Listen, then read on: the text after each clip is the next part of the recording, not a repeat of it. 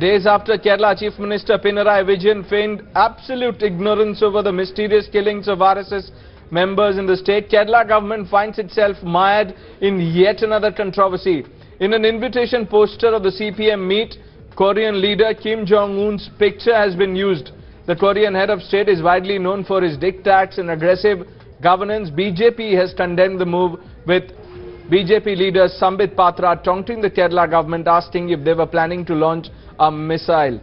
Madhav is joining me from the uh, newsroom. Madhav, what does this mean? Isn't this a massive self-goal and an embarrassing move for the CPM?